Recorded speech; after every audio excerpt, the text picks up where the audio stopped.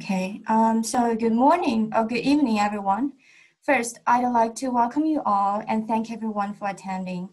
I'm Shifan from Urban China Network at Columbia GSAPP. We are a student organization operated by urban planning students aiming to create an international communication platform for Chinese urbanism across multiple disciplines. So today remarks our um, seventh year of Urban China Forum. And I would like to thank our sponsors, GSAPP, Urban Planning Program, Columbia Global Center Beijing, and the Weatherhead East Asian Institute for making this forum possible. Under this special circumstance, we're proud to be able to host a two-day US-China forum here at this virtual meeting room with all of you. This year, our theme revolves around cities' response to COVID-19, as Chinese cities have been in the center of the discussion we hope to discover multiple aspects of urbanism in the pandemic to reflect on the past, review the present, and reimagine a post-COVID future. The topic today is management and pandemic urbanism. The schedule has been posted in the chat box. There will be Q&A sessions following each presentation. Um, we're honored to be joined by leading practitioners and scholars Senior Urban Designer Mr. Rui Qian from AECOM Greater China, Professor Qingming Zhan from Wuhan University, and Professor Ying Long from Tsinghua University. The presentations will be followed by a panel discussion moderated by Professor Weiping Wu, Director of Masters in Urban Planning Program at GSAPP, and she is also the UCN's consultant. With that, I would like to hand over to Professor Wu to welcome you all. Hello, everyone. Uh, welcome to GSAPP. Uh, welcome to Columbia and welcome to uh, the urban planning program.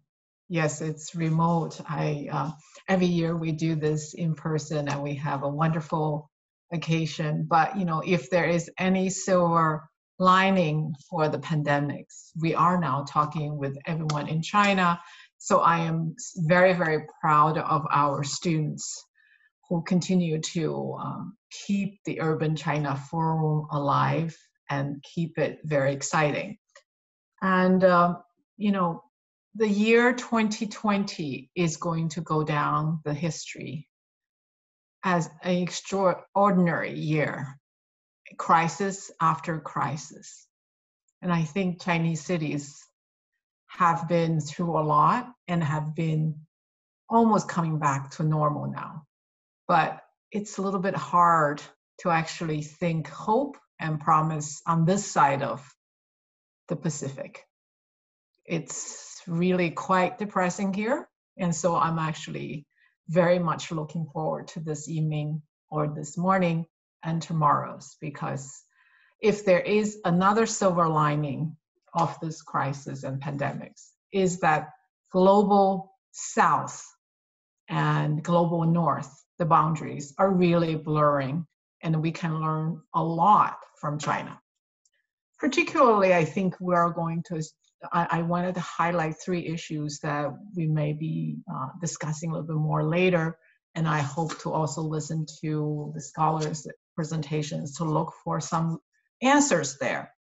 One is climate change and how in this time of pandemics, when we are worried about being too close to each other, being too crowded, how can we continue to make progress towards that we already made under climate change before the lockdown?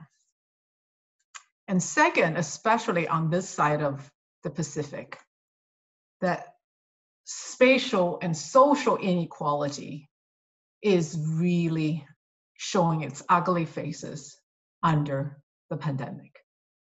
And we know where people live, where people, uh, who people are really mattered in the life and death in this pandemic.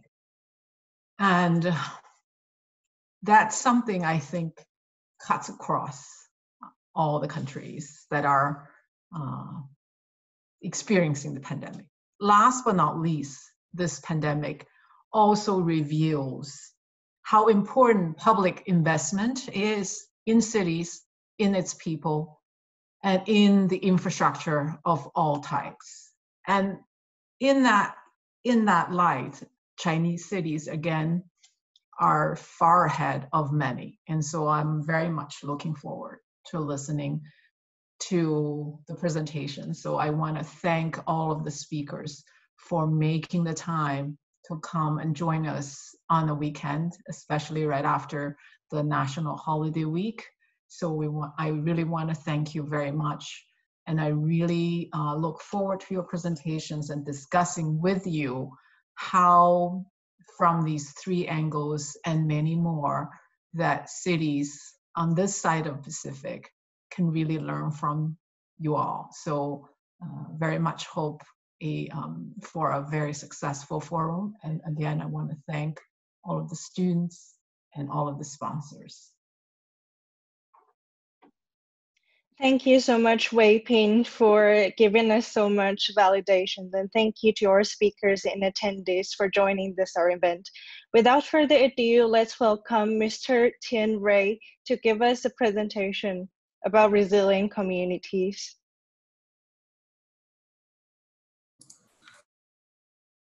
Uh, can everyone see my screen?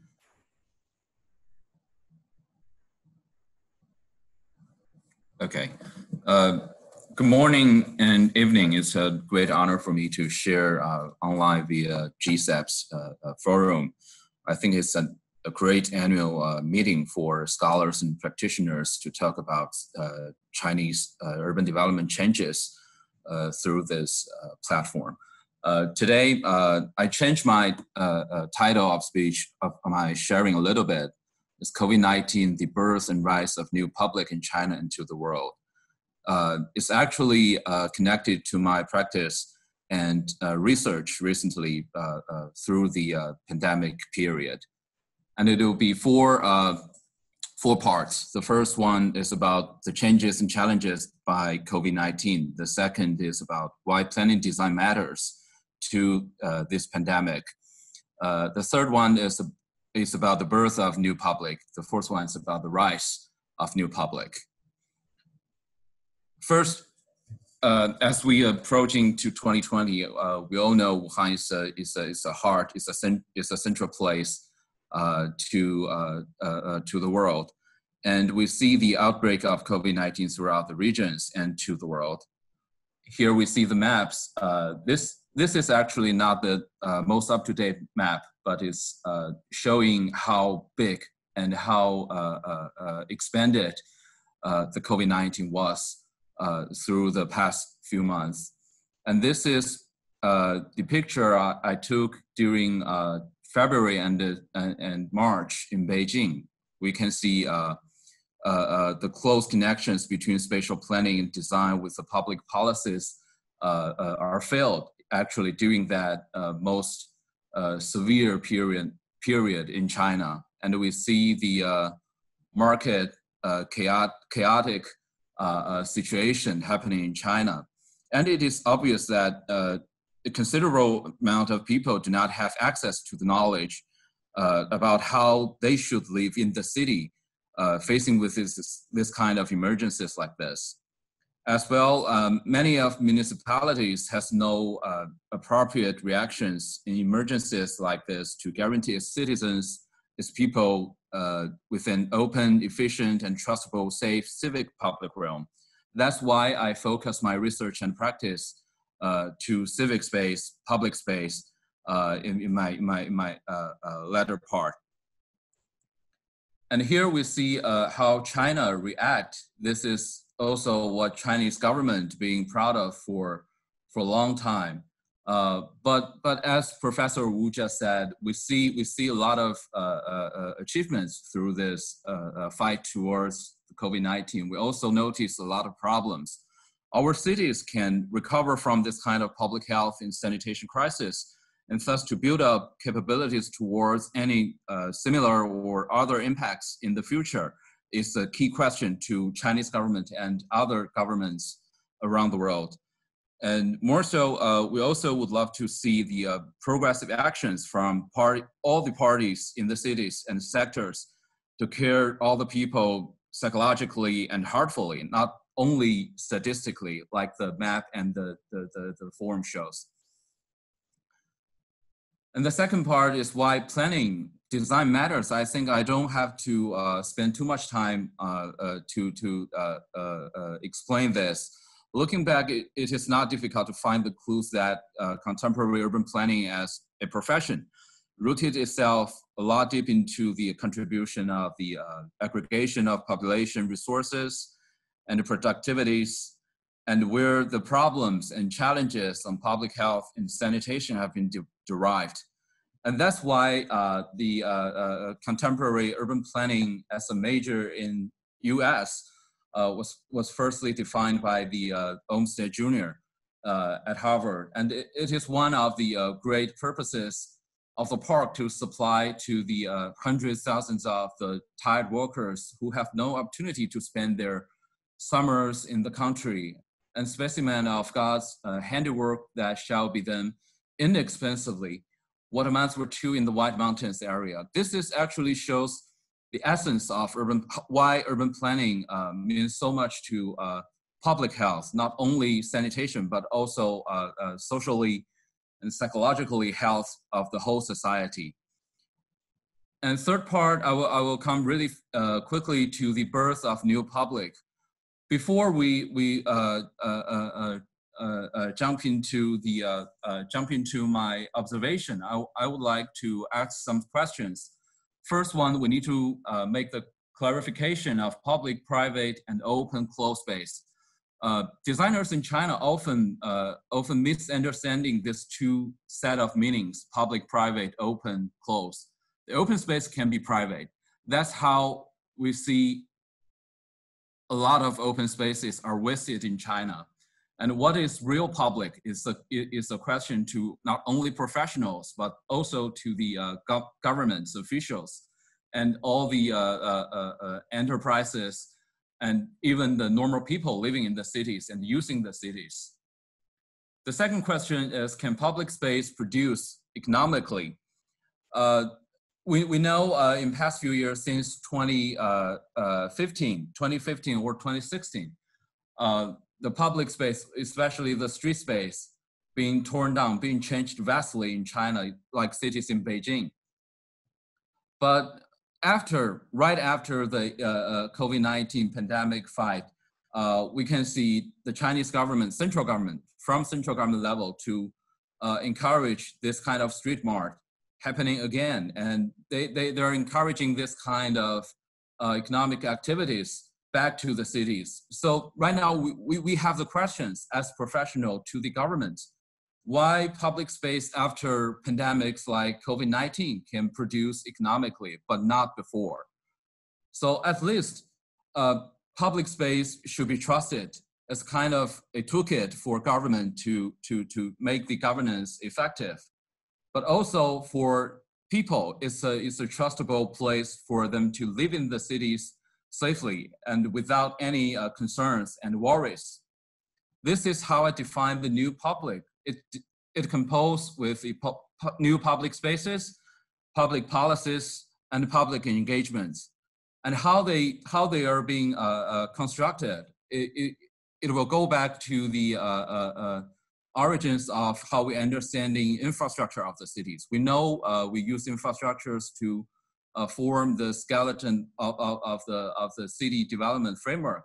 So we see this uh, diagram from the infrastructure of infrastructures, like uh, light, air, water, fires, soil data, these kind of basic elements to generate like resource, ecological, resilient, information, municipal, and social infrastructures. This is how we planners and designers normally describe infrastructures. But the key part is how they generate the effective public services and related public policies, public engagement opportunities to the real public people. And we can see how new public will go back to in influence the people's daily life, everyday life.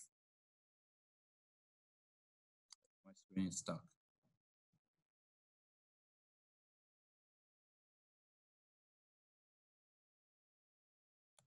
And given that uh, uh, I uh, came up with some suggestions, about how how how how should we go forward of new public spaces should be done. And uh, given the time limit, I will I will not uh, read uh, article by article, but I will I will share the most important part, the the strategy part, to integrate different progressive technologies into multi scenarios. A group of multidisciplinary team under leadership and uh, uh, coordination from the government will have to draft up two critical documents. The first one is action plan of the public realm administration for uh, epidemic period, outbreak period. And the other one is about the master plan for resilient public realms, which in China, most cities don't have these two kinds of master plan or action plan, especially the action plan of how people use public realm appropriately. And the second one is about the public policy. The key strategy is about the municipalities shall uh, coordinate and draft up the new master plan for resilience, for urban resilience with a set of uh, uh, accurate policy toolkit and package. Um, uh, uh, I guess most of the professors today here uh, will understand in China the, the logic be behind the public policy making is kind of top-down logic. It's not the problem uh, uh, or, or the question-oriented logic. So our pu public policy normally cannot solve public problems. And for long, for long time, for decades, Chinese government is trying to use inappropriate public policy to uh, uh, uh, uh interfere the private realm. Actually, it is that, that's why that's why we can see a lot of uh, uh, uh, ugly images or, or unhappy news during the pandemic period in China. The third one is the public engagement. The key strategy is based on the local condition and we need to grasp, grasp the local governance unit, communities in Jiedao in, in China actually again for uh, volunteering activities in order to be closer to the normal city users and help them to uh, uh, uh, uh, go back to normal everyday life. This is how we uh, suggest to the government with, we, we, can see the listed actions. And we also suggest this to actually undergoing projects to the Beijing New Subcenter uh, uh, uh, for this new new set of strategies and actions to test whether it will be useful because in the old uh, in the constructed area of Beijing it's really really difficult for us to test out uh, uh, uh to test out the, the, new strategies. And now we are trying to uh, using this kind of uh, spatial assets management platform which we're collaborating with the local government trying to list out what kind of public space public realms can be used can be operated and can generate uh, the social value and the economic value. And thus, we will follow followed with the two key, key set of documents, including the public realm uh, administration action plan and the resilience master plan of the whole region. The fourth one is, uh, I, I, was trying to uh, talk about the rise of new public. Given the suggestions to Chinese government and during the uh, pandemic period, um, my friends and I took the uh, uh, took part into the uh, competition of the Brooklyn Bridge, Reimagine Brooklyn Bridge competition. And given that into this context of living with COVID-19 and living in the period post-pandemics, we see uh, New York City in the COVID-19. I will go through this part quickly because the time is uh, uh, limited we see we see a lot of interesting news like uh, uh, the mayor of New York City. Uh, they don't want to open open up the streets, and uh, uh, the local the local people and uh, the city council speaker Corey Johnson said New York City needs to open streets to pedestrians for public health, public safety, and for our collective sanity. New York City should be leading to the way in in, in this in this issue. And after a long talk with uh, city government, with uh, mayors, uh, the mayor Blasio finally agree announces 30 more miles open streets, making New York City a nation's leader finally. this is actually a, a, a, rise of the new public space, of the sense of new public uh, uh, uh, in the cities, how, how we should fight with the pandemic, the, this kind of public crisis. And after that, let, me, let me draw, to, draw your attention to the competition. When we're talking about public space, I, I understand the mayor of New York City actually uh, when he disagree with open up the streets as public space because it's actually all about money issues. In every city, we see uh, uh, uh, uh we see the problems. Unfortunately, being afraid of both cars and people, Mayor Blasio just refused to open the street. But the team would rather recall, uh, as reported back to 1880s as below, uh, thus to foresee this bridge uh, as reconnecting great cities, great people, and great spirits, that all great things in this country, in, in states, being built on. That the belief in the democracy and commonwealth of uh, the uh, uh, uh, public, val public values, but not only in the physical way, but also connect connector from the two, two territories, two, two parts of people living in New York City. That's why we uh, define the new public by the new technologies, as we suggest something we suggest to Chinese government that we also want to try into uh, the New York City context with this kind of uh, uh kind of mild strategy from bottoms up way to suggest more kind of uh, people every every uh, group of people living in the city and every groups every sectors uh, using the city and managing the city can also contribute to the reimagining the uh, uh, uh new Brooklyn Bridge. This is how we uh, uh, reprogram this new public space by the new technologies. Also, in this in this discussion with my teammates and with the Allen Institute, with with the city uh, uh, uh, government representatives, the data security is is is a sensitive problems and challenges to this kind of strategy and design, uh, uh, uh, design representation and design execution. I think this will relate much to Professor Long sharing afterwards. And finally, as this kind of in China, we use a top-down strategy to suggest government directly to use uh, public space as the uh, uh, governance toolkit and comparing to in New York City, we use this kind of uh, bottoms up strategy to take part in this kind of competition. And we talk to local people, we talk to uh, uh, representatives from each communities. We see the difference and common, common things uh, in how people understanding public space, the new public space, new public in different worlds. Uh, and that, that's an ongoing research that I've been, I'll be uh, working uh, uh, closely in the future two weeks, actually with AECOM's leadership team.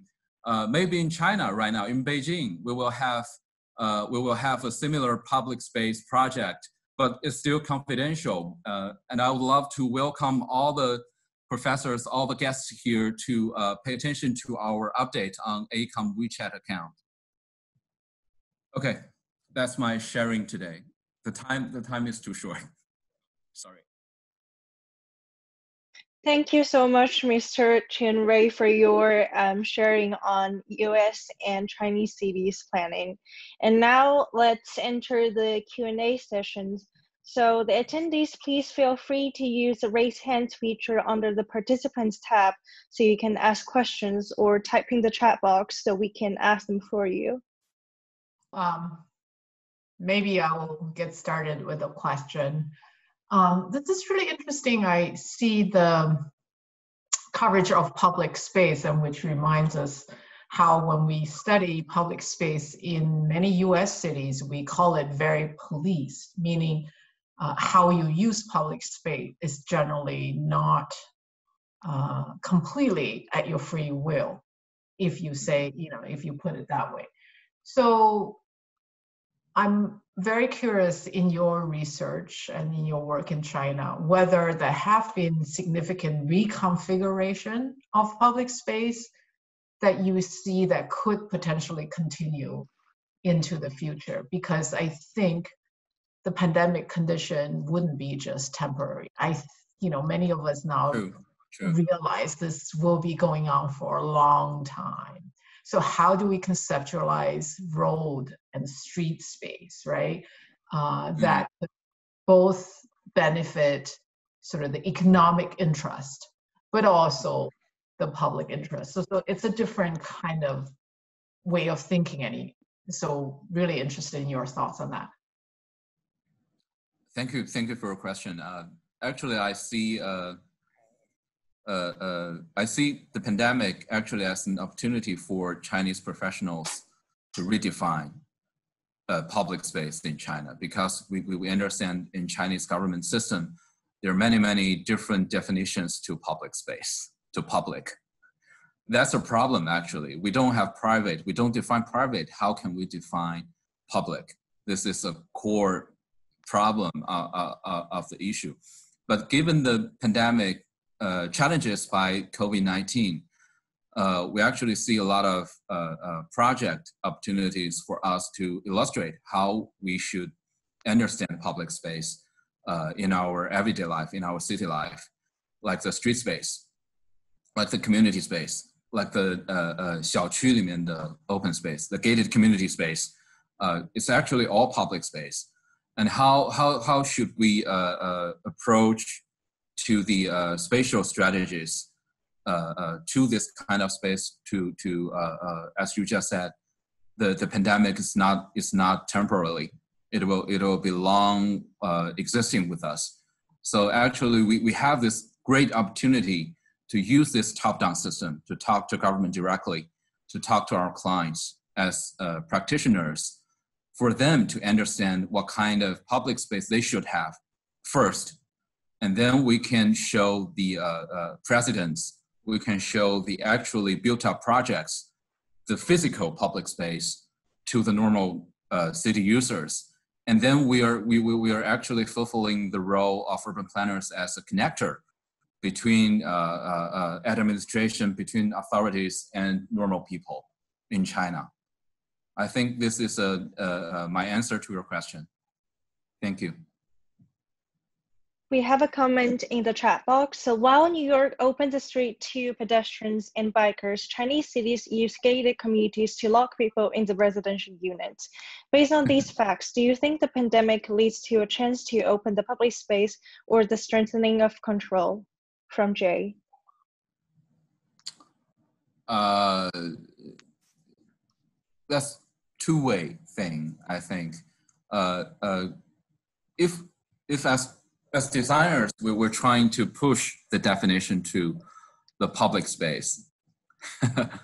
uh, then it will be uh, then it will be better for, for us to to open the public space, open more public spaces for people living in the city.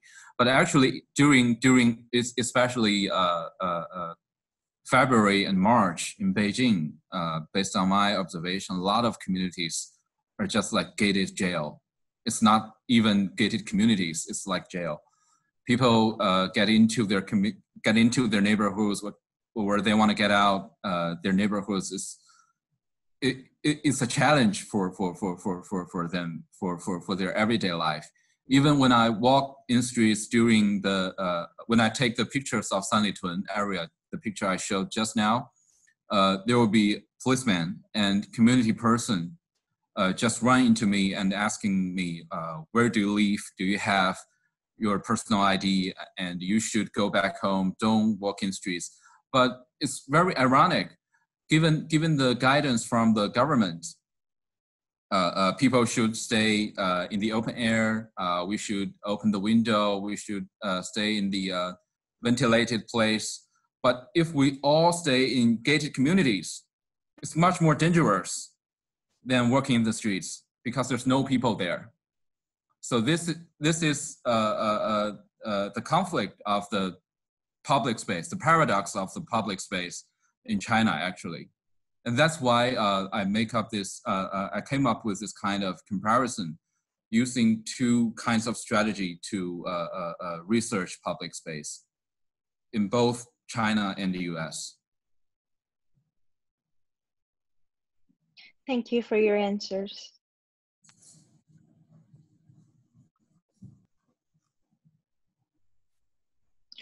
So um, just after that question, um, regarding the mental state um, during this lockdown, how do you think um, the public space should play a, play a role in assisting that? Well, where well we have another question coming. We have another two actually. So from Ben, we're dying to know what has become of the dancing grannies. They are one of the pleasures of visiting Chinese cities. Will there be um, public space for them? They're at least as nice as the dancing dirt bikes of NYC. They, they have they have their space now already. Yeah, even even even still, the, the use of public space right now is not that free uh, as pre COVID nineteen. But but but they already have their space uh, to dance freely. okay, great. And another question from Jing Hao. Hello, Mr. Chen. Through your experience, what are the ways local government can allow more citizens to engage in the urban planning process, especially during the COVID era? And do you think the government and the citizens might have different set of value when it comes to urban planning? Uh, uh, I, I, I didn't have time to uh, expand my research given a special role of myself. Uh, uh, uh, especially in Beijing, they have a new institution called dedicated planners to each community, to each uh, 街道, uh, uh, uh, government level, the, the, the smallest government unit in China actually. And we're using this kind of institute, this kind of institution, this kind of system to engage more public people into the planning process. And I myself actually delegated planners to uh, three communities in Chaoyang district. So that's how I uh, uh, uh, uh execute my research and uh, public space optimization projects in Beijing.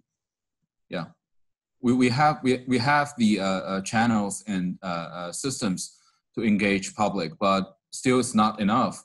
as I, I think as urban designers, as practitioners, we should try more uh, to collaborate with professors in universities like uh, Tsinghua, like uh, Beijing University of Civil Engineering and Architecture, this kind of professional schools. And also we need to talk more to the local uh, enterprises, local corporates uh, uh, together, uh, take them, talk to the, to, to the local governments. That's how we influence the government officials, trying to giving them the clues giving them the uh, basic knowledge of public space from different aspects. Okay, great, thank you. I think we'll have to move on to our next speaker. Please welcome Professor Qingming Zhan and his experience on the Wuhan city's um, COVID handling experience. And we'll leave any question in the chat box um, toward the discussion panel session. Okay, Hello, everyone. Uh, it's my uh, great pleasure to meet up with you online. Uh, it's a, a, good opportunity uh, to show cases uh, what happening in Wuhan. Uh, many people are focused on the academic, pandemic center, starting point of Wuhan. And actually, I was arriving in Wuhan from Hong Kong uh, 30 minutes before the announcement of, of, lockdown. So I've been staying in Wuhan for more than half a year uh, from the beginning of lockdown. So I ha have a, a, close look at what's happening in the neighborhood, in the city, and, uh, and the connection between different cities. Uh, the, the central issue of my talk is about to look at the, the uh, COVID-19 uh, uh, and, and, with consideration of transportation and uh, accessibility to connect this, all these elements and see after the event and what we can learn from those experience and those cases. Uh, it's uh, just uh, cases in Wuhan and the connection of cases in mainland China only. I haven't got data to look at after the, the, global cases, right? Uh, and uh, uh, the three issues I will mention during my talk. And one is that uh, the uh, interregion transmission in early days of COVID outbreak. if we look at the, the, the outcomes of this lockdown measure and level one response, right? And the second part, uh, we'll look at closely in Wuhan, uh, the center of the outbreak and uh, network agglomeration. And third, we'll also look at the transportation and, and, and in connection with transmission. Uh, what we, we may attempt and what the, the uh, approved proposal could be come out of this kind of understanding.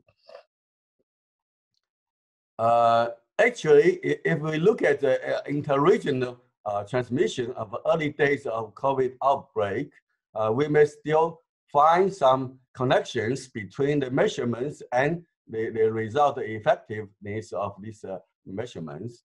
For example, if we compare the cases in, in the what happening in similar cases in 2003, that's SARS outbreak. It was uh, after a uh, few weeks, it's uh, it start going up. The, the, the number of cases like this, the blue lines, yeah, it take a longer time to gradually come up the figures. If you look at the, the COVID-19, uh, that, that's the blue line, uh, the, the, the, yellow line, you see, it's uh, after a few weeks, it's come up ra rapidly, right? Spread. It's much faster than SARS. So the, the, uh, uh, the, the, windows for us to react is uh, actually uh, very uh, tiny. Uh, we have to do it efficiently and quickly. this is the, the difference between these two coronavirus. And if you look at the time line, this red line is the, the, the, the few weeks outbreak in the beginning, so the, the cases start very quickly. And after the, the, uh, uh, uh measurements of lockdown of Wuhan, so the, the figure, number of trips drop quickly, right?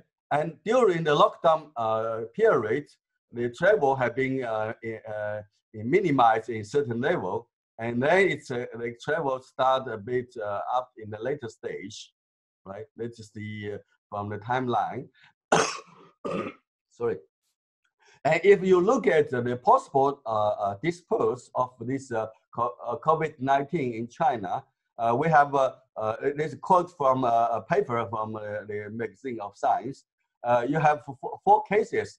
The, the, the real cases, it's a yellow, black line with the Wuhan travel ban and with level one response. The actual real cases. So the, the, the number of cases uh, remain uh, low right? Uh, if there's a, if there's a travel ban, but uh, without uh, level one response, you will see uh, it's in the beginning it's a low case and it come up, and the later stage it may rise, right?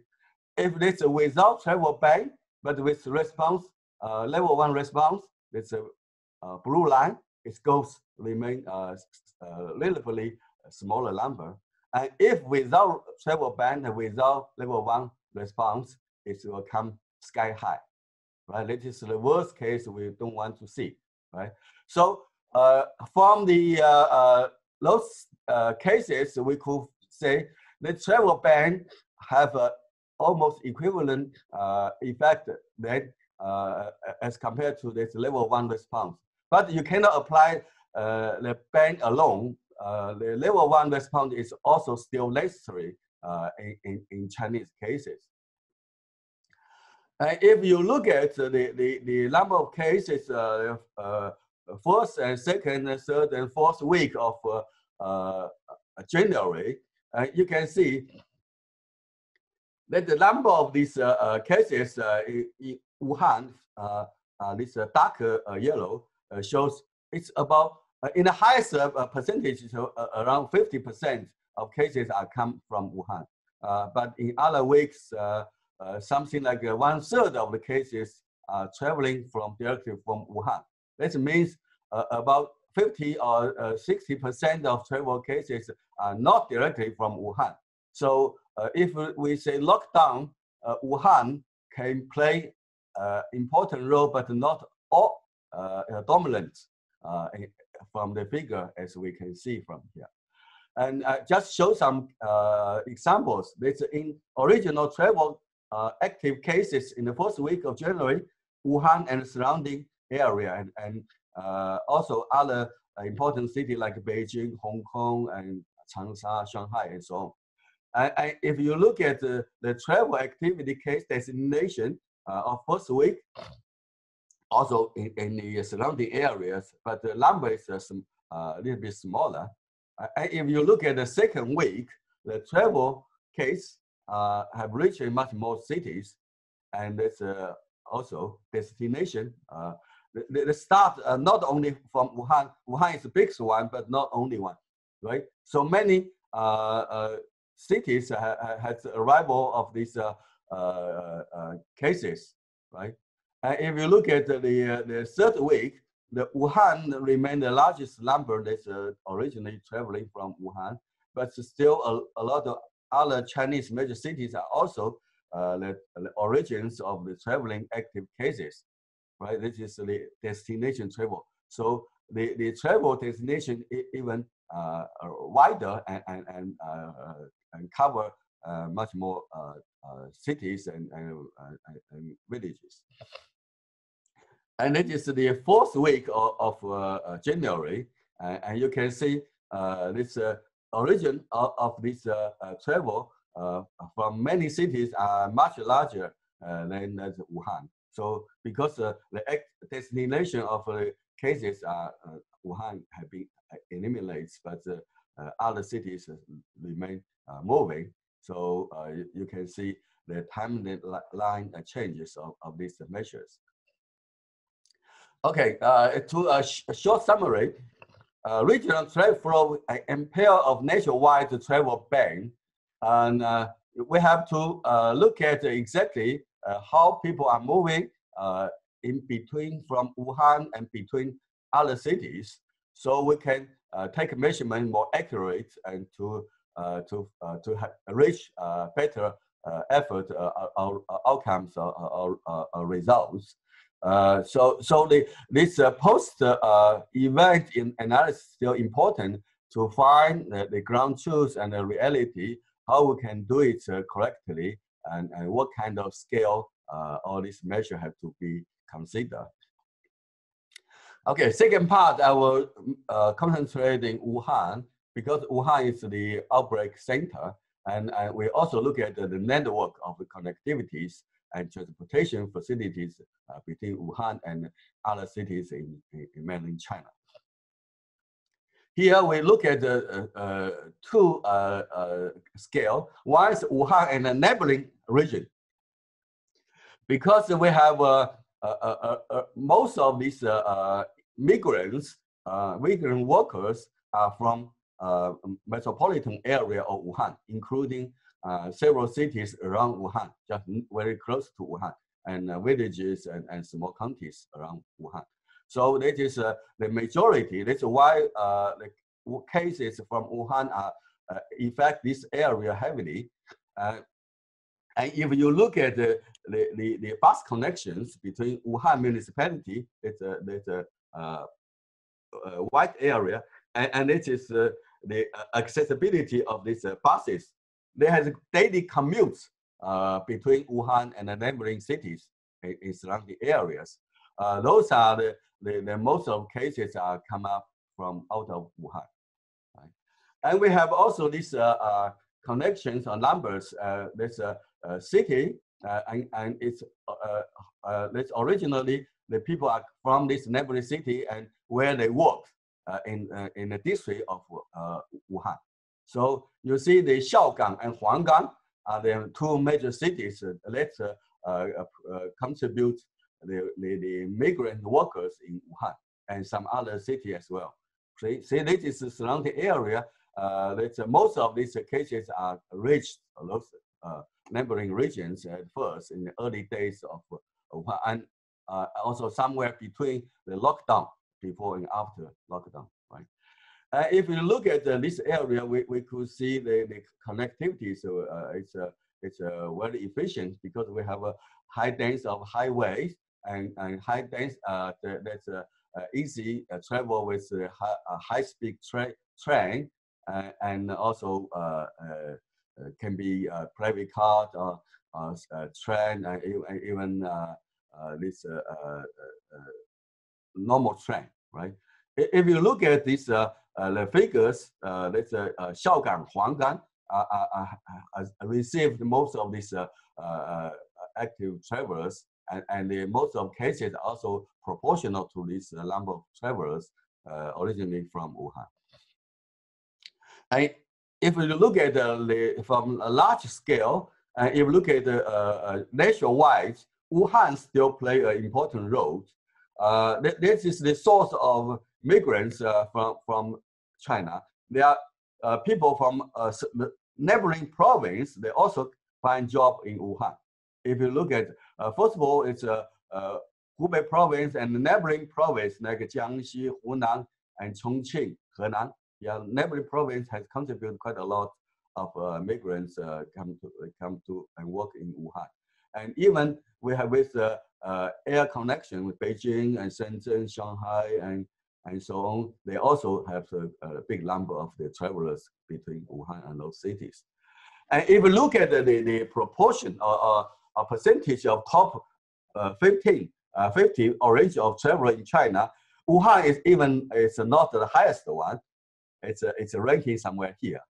Uh, the top one may be Shenzhen or Beijing or Shanghai. It's uh, uh, frontline uh, cities. Wuhan uh, quite quite large of these numbers, but uh, uh, not not in the top. So uh, because of, of Wuhan is in the central location, so the connectivity and and the the the, uh, uh, the, the, travel opportunities are high, so they can efficiently uh, move from Wuhan to any places in China. So let's say higher, relatively higher number of travelers and have a, a, very high efficiency of connectivities and transportation facilities. So transmission ratio is uh, remain high from Wuhan. Right? And that is the uh, uh, Wuhan daily uh, uh, trains uh, connection, number of trains between Wuhan and, and those cities. You can, these dark colors have more very frequent connection, even look at the train alone we have more than 200 trains between Wuhan and Changsha and Zhengzhou, right? And more than 100 lines that connect to Chongqing and Wuhan. So mo most of these people are traveling by train, uh, normal train and high-speed train. And it is the destination uh, corridors between Wuhan and, and uh, if you look at mainly uh, because of the high-speed train.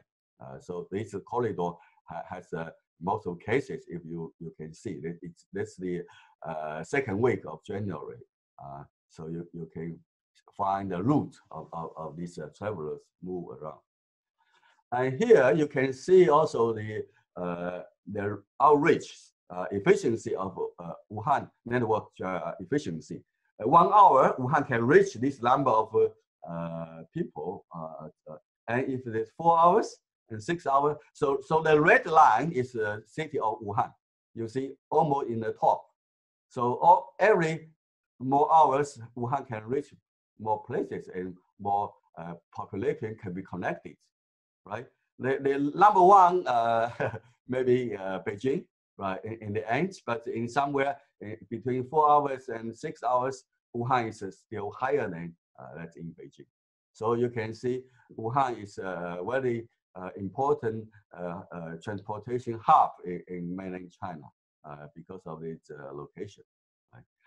And if you can look at the connection, weekly flights from Wuhan to let's uh, long distance uh, uh, cities between Wuhan, Urumqi, and Harbin, and so on. There are many connected by air passengers, passenger flights, right? And nearby cities and the region uh, most people travel by high-speed train because it's uh, four or five hours can reach most of the major cities uh, in, in China. And that is the destination of uh, active cases uh, second week of January. You see, even in, in northwest of China, we still find cases uh, that, that's from travel from Wuhan. it's mainly by, by taken by flight, right? And if you look at this uh, uh, uh optimal uh, optimal uh, optimum route. Even you travel by train, uh, uh, by flight, uh, by uh, by car, uh, and still you have a higher opportunity to go through this region, especially Wuhan, right? you see, if you want to go shorter way, still about 31% the chance you have to go through Wuhan, right? So it's from other point of view, Wuhan is also uh, uh, hub, hub for uh, that logistic network, right? You cannot go uh, beyond Wuhan, uh, uh, otherwise you will take a much longer route, right, as an alternative. So Wuhan remain a very important hub. And, and, and a short summary, it, the, the inter-region transmission may be about more than uh, migration uh, because the travel between uh, start from Wuhan and destination as Wuhan are still a big number. So we have to consider both, not only the migrant workers, but also the travelers, business men, and, and also students. Because Wuhan has uh, 1 million uh, college students and postgraduate students. Uh, lucky enough, uh, in the first two weeks of, of, of January, most of these uh, Chinese uh, students in Wuhan have already moved out to Wuhan, uh, went home. So uh, very few cases have been found among those students. That's a very positive signals. If those students leave Wuhan uh, bit later, then there may be another big issues because uh, one million students is a big number. And third point, uh, we will try to associate the transportation and uh, in transmission.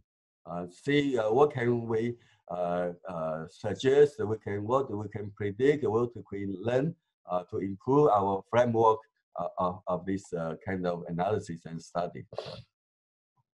actually, that is uh, uh, frame, this is the, the proposed uh, framework to to evaluate this kind of uh, connections.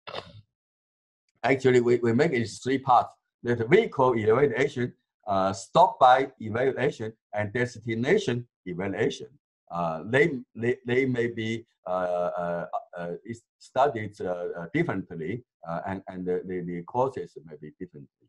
And we have this SIR data, we have migrant data, and this travel OD table and the proper ability dis distribution and potential act active cases between O and D, and we have a potential active cases on roads, and all this comes uh, with these uh, three uh, type of evaluation, we can come up a much clearer, uh, more comprehensive outcomes of this kind of prediction uh, of this, uh, as we call it, improved SIR model.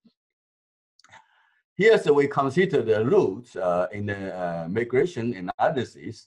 Uh, we have a route file. We, we know all these connections and paths, uh, uh, uh, including air, railway, and, and, and, highway connections. And then we have the, all these points of, of locations and boundaries with samples, and we have weighted route points.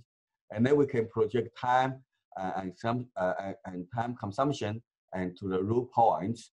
And then we have total time assumption and then we come up with uh, these uh, uh, connections and and and, and it's a departure and arrival times and, and see if we can come up with more realistic predictions.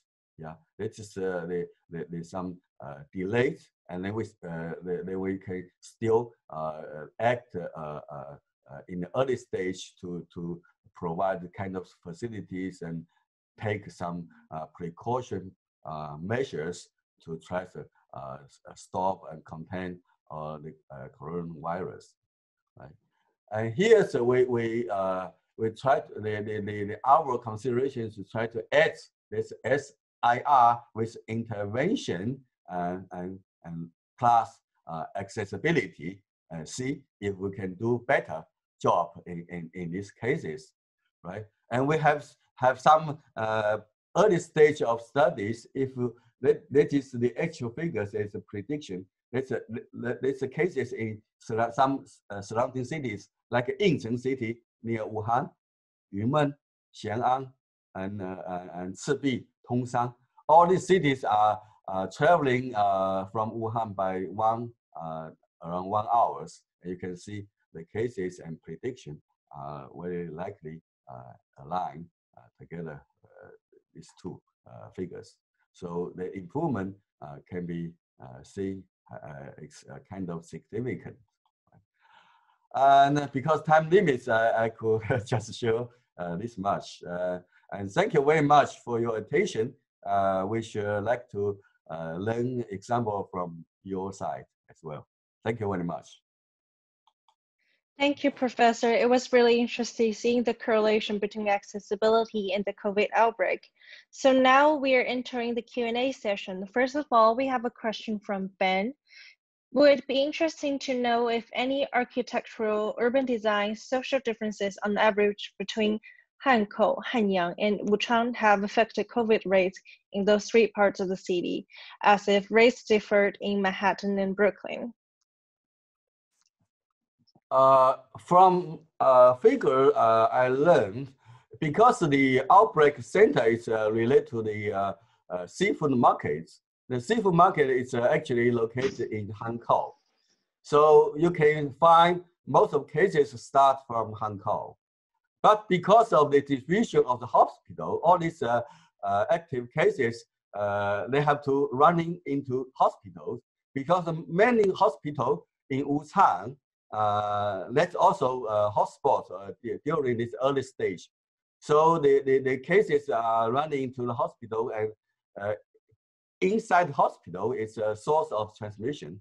And many uh, other patients are also uh, being uh, affected by the virus. Uh, so uh, you can say Wuchang, uh, Hankou, and Hanyang are more or less equally distributed of the cases.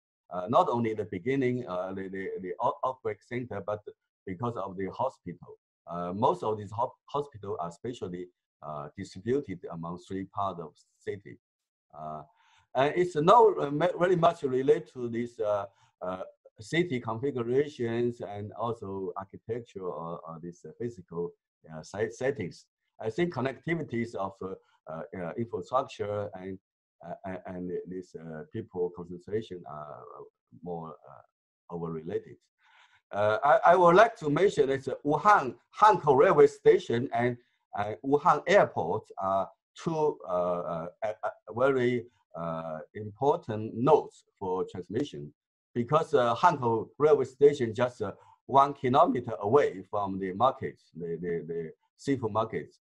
And there are two uh, high uh, uh, metro line connection and high-speed train connection between Hankou railway station and airport. So people can easily, efficiently travel to those transportation hubs. So many cases can be found there get effect in this uh, uh, cloud uh, transportation hub. Thank you. we have can, a question coming up.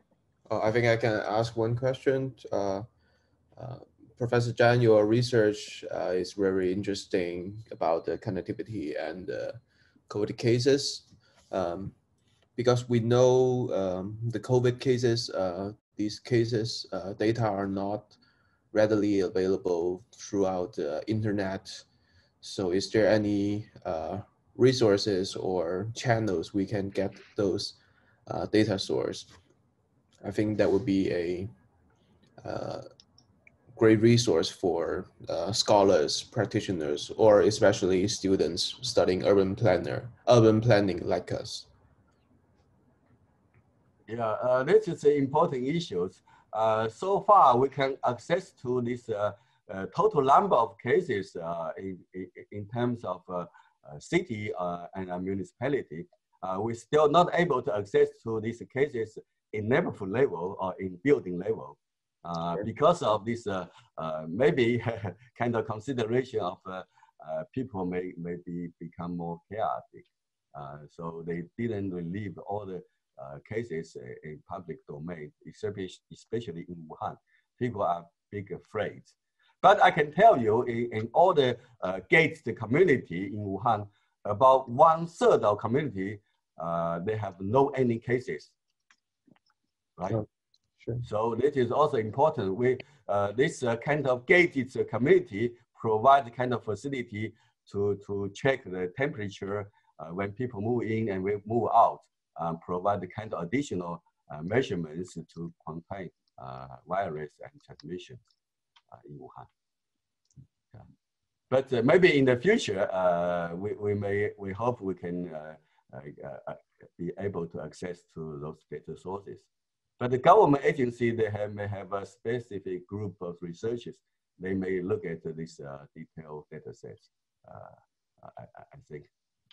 Yes, I understand the government could, agencies, they could have uh, epidemiological, um, pretty precise data about patients, but of course, due to the privacy issues or maybe the right. gov, gov uh, yeah. maybe the government issues is not like uh, yeah, but uh, uh, neighborhood still know uh, where is the, the cases because if there's a neighborhood, the corridor have been closed. Oh. And they so at least they, they are they know someone in the neighborhood. in the in the neighborhood. Yeah, and they also provide a, a, a green plate to each uh, gate community that is free of these uh, cases, so people can uh, can can can walk around the the, the campus and, and, and the, in, inside the, the community. So give some open space for the local residents to relax a bit, right? Uh, and those online shopping also provide uh, necessary uh, foods for, for people, so people are not scared with uh, without food and water and electricity. And good enough is also this connection, internet connection, provides confidence for people to stay at home, right? Uh, and you can see that recently, uh, recent years, Wuhan also in increased a large number of this uh, Uh, green space.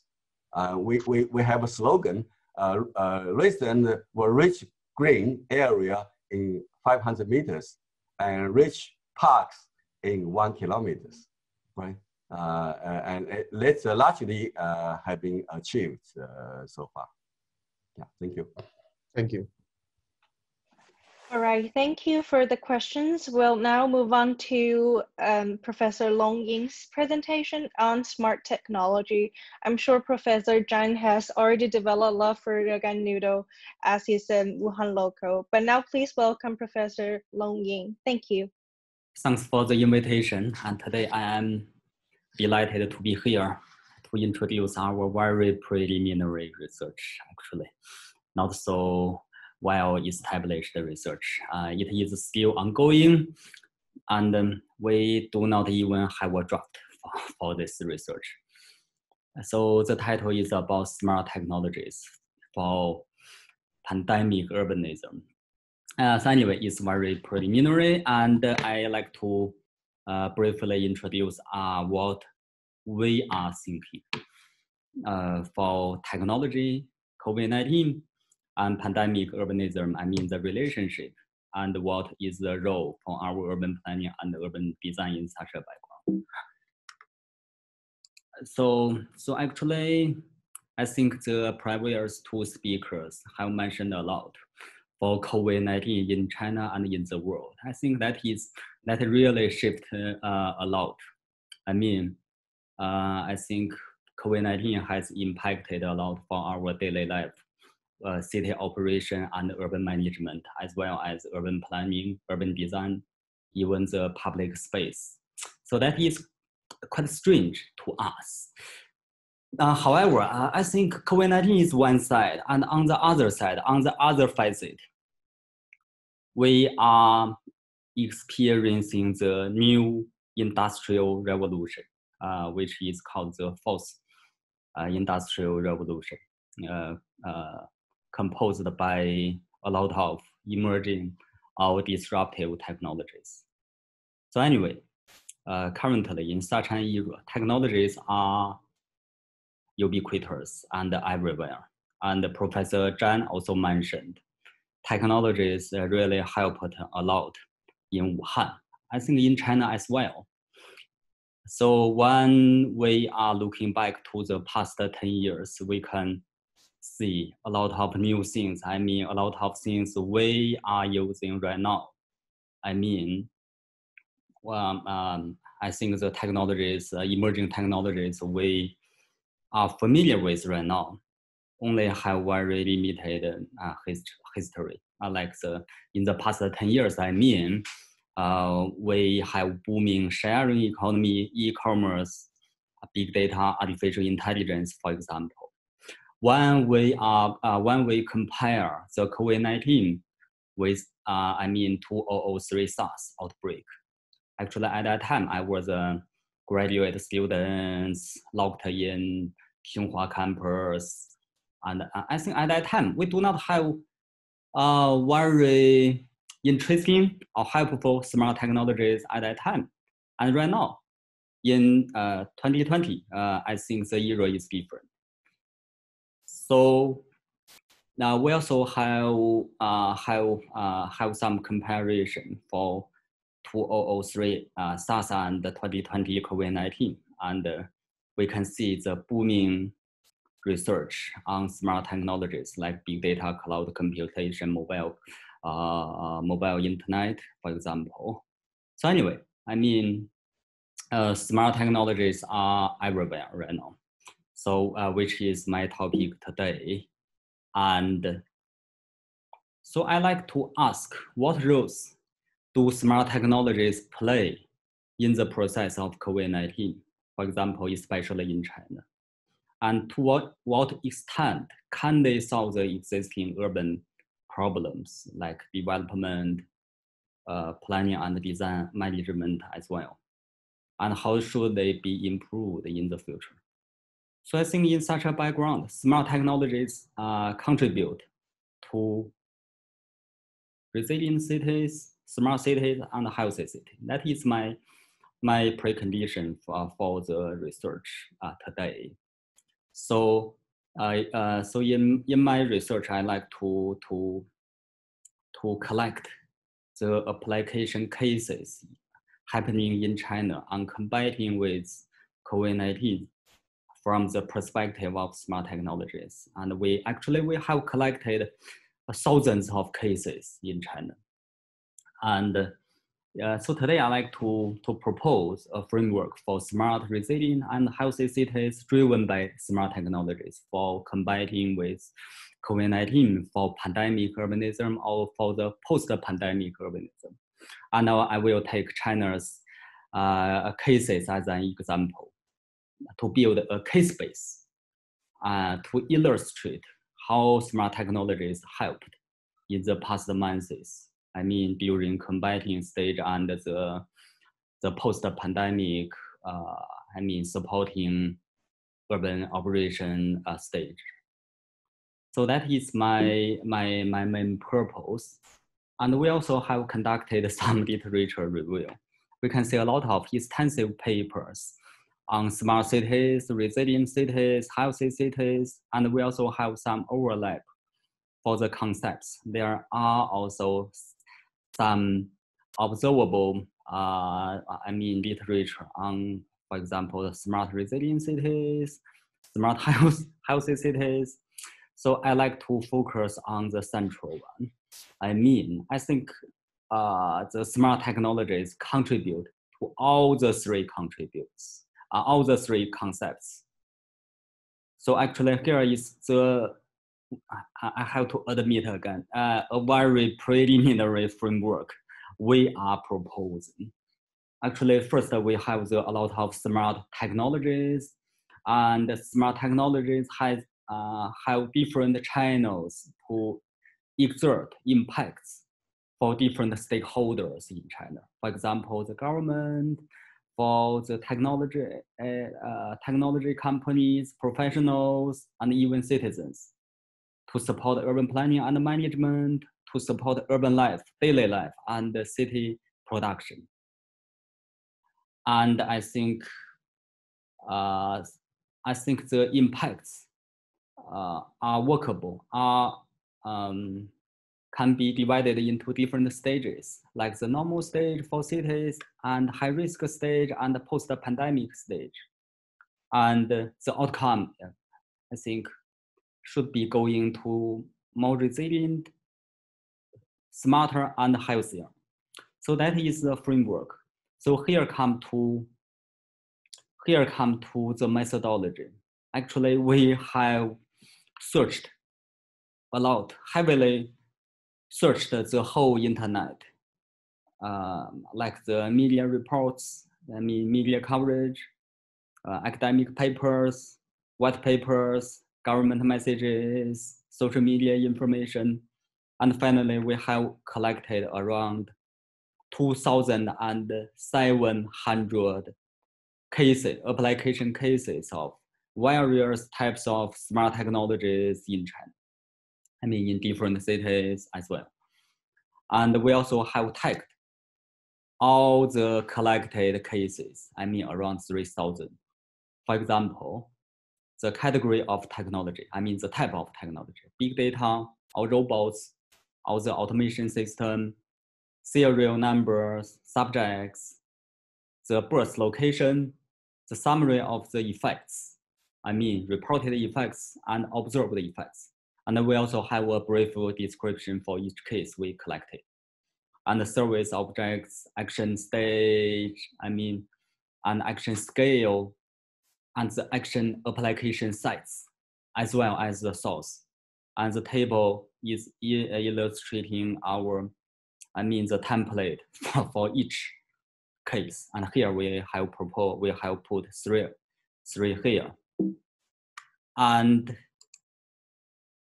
and in, in total, I think we have categorized all the smart technologies into 10 categories, like big data, robots, uh, immersive me, uh, media, mobile internet. I think mobile uh, mobile internet is very uh, important. Currently, I think it is quite important since currently we are using the online meeting and supported by mobile internet. And artificial intelligence, Internet of Things, I mean the sensors, sharing economy, blockchain, cloud computing, and even intelligent construction, like the Huoshenshan hospitals in Wuhan. Uh, yeah, anyway, in total, we have 10 categories right here. And uh, uh, oh, sorry, not 10 categories. We have already expanded our case base. Currently, we have 14 kinds of smart. And the first is big data. I think data, uh, I think big data are very important since, uh, I mean, big data help us to display data of, I mean, the situation for epidemic situation in different city and in different country as well. And analysis and forecast epidemic situation. There are uh, already a lot of research currently, and monitor and assess the disease, uh, decision making and analysis uh, for public uh, to analyze public opinion, to understand how people are feeling, were feeling, uh, I mean during pandemic uh, period. And artificial intelligence is also important to support or to improve the quality of analysis, the accuracy of forecast, and to analyze virus and develop medicine. I mean, that is also uh, very important. And also online uh, medical consulting, intelligent outbound surveys, and uh, identify signs and symptoms without touch.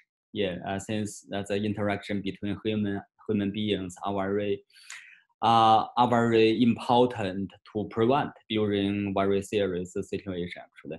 So anyway, I think AI also helped a lot for, for people, for government, and for medical staff as well. And the mobile internet, I think mobile, uh, mobile internet is uh, of the most important smart technologies during this period. It helps a lot for online working, working from home, online education, which is very common even right now in China, and telemedicine, and also online meeting like this today and even online entertainment. Actually, several internet companies developed some interesting apps during uh, COVID-19 in uh, China, actually. Uh, and you can also uh, karaoke together. I mean, cloud uh, uh, karaoke, cloud dancing, so which is very interesting. And we also have the cloud computing. Actually, I think Baidu, Tencent, have significantly expanded the cloud computing capacity during the past months because of the increasingly uh, increasingly I, mean demand for for for online something. And I think Internet of Things maybe uh, Internet of Things are emerging. I think uh, maybe for example, uh, 10, 10 years later or 20 years later, if we we have similar global pandemic issue, I think Internet of Things, I mean ubiquitous sensors would be able to play more, uh, I think, much more important role. And however, in the COVID-19 period in China, I think it is already uh, uh, uh, helping a lot actually. For example, application of the intelligent sensors in the cabin hospital, there are some observed or uh, I mean application, and also contact information for transfer stations, transport relief materials efficiently, and smart healthcare, I think and the robots. Actually, there are a lot of messages, news, media coverages in China about the application of robots in different places, like the hospital, like the delivery issues and disinfection uh, robots and intelligent guidance robots. So I think uh, robots uh, really, I think robots uh, really uh, help a lot to some degree. Um, but uh, my concern is maybe currently some robots are, are, are showcased maybe.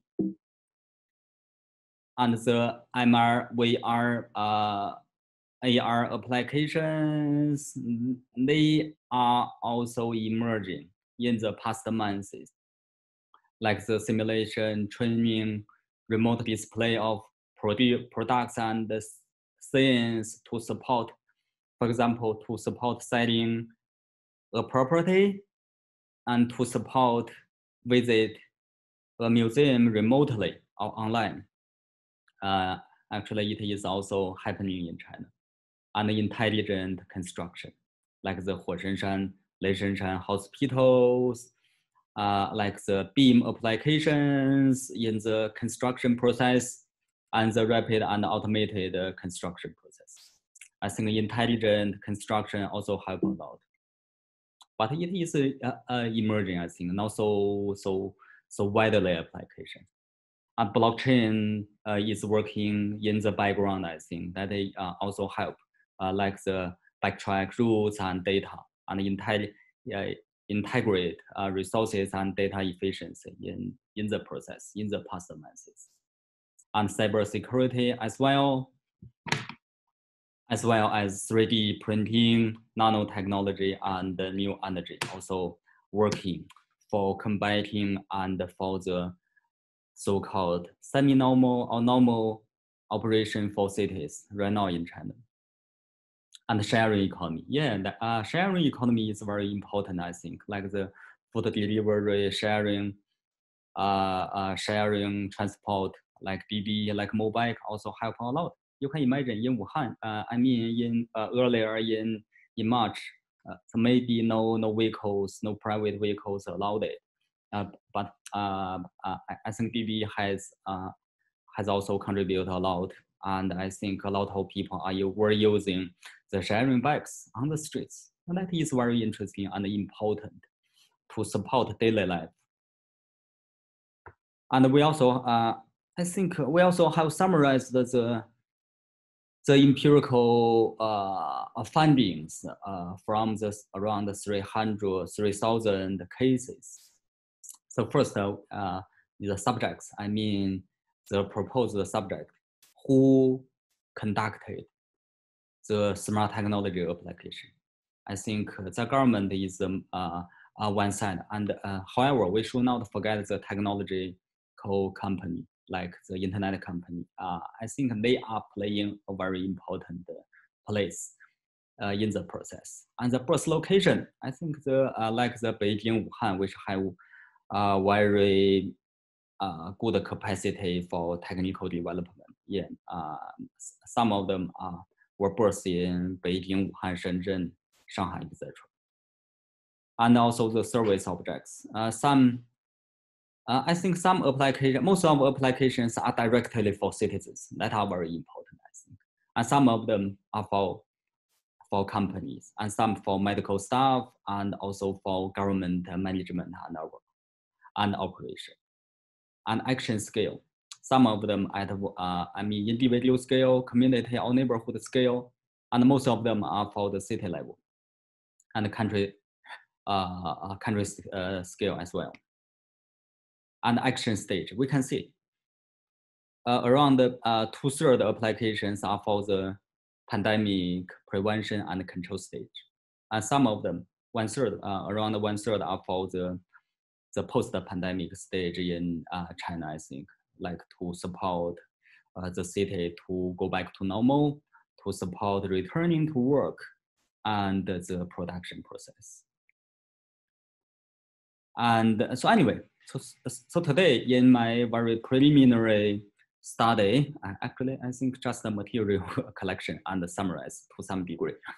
Uh, I think smart technologies, uh, smart technologies uh, really help a lot. I think I appreciate personally. I appreciate uh, smart technologies a lot since in this February and March when I was locked down in my home. I think smart technologies I have mentioned today helped a lot helped me and my household a lot to, to support my daily life and working actually. I see. And I was also think, uh, and, and I, uh, actually in China there are also extensive discussion on how urban planning and design can contribute to pandemic. So uh, when one journal invited me to, to, to write a paper or report so uh, my my uh, I just uh, in my uh, in the invited paper I I just summarized the smart technologies application rather than the urban planning and urban design. That is very interesting. Uh, however, I think urban planning and urban design is also very important. However, comparing to, to technologies, I think technologies may be helping more to us or to our cities. So finally, uh, so if you have more interested, uh, more interest, you can uh, also download our open public, uh, I mean, report together with Tencent. I think two months, uh, two months ago, Tencent Research Institute and my lab together we uh, released the report on future cities from the lens of space. We have the uh, English version and the Chinese version. And uh, more information is available in that report. So actually, I think to summarize, I uh, so today I advocate a lot for technologies. I think uh, I think technologies are not everything. As anyway, and are uh, and technologies are not always doing good to us, to our human being, to our cities. Uh, uh, in, in some cases, but they are ubiquitous and disruptive. And in, they, real, they really help a lot. So how about our urban planning and our urban design can do? I think we should welcome uh, and we should we should blend or merge technologies in our planning and design. For example, uh, so before we have the spatial intervention and placemaking to develop a better public space or better city. And I think in the future, currently we have already observed some uh, very interesting cases.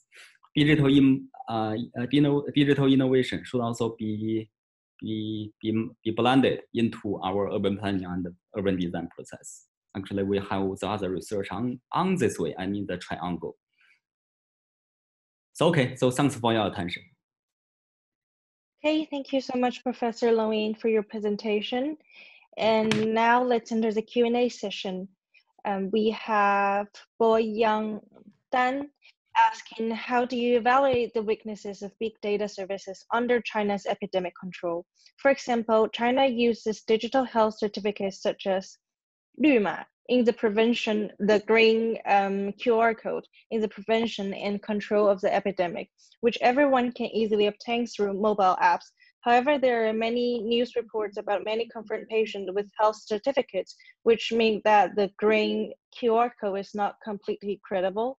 Yeah, so actually today my research, uh, my research is at a very macro level, macro level rather micro level.